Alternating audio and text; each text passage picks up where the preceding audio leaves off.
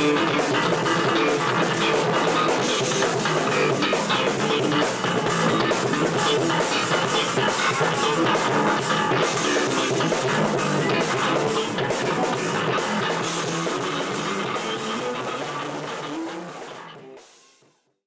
By the end of his life, Wolfgang Amadeus Mozart wrote over 60 symphonies. He wrote many operas and many different other forms of music. I'm going to perform for you today one of his greatest pieces. It's called Ein Klein Nachtmusik. It was written in the year 1787. I'm sure you've heard it before.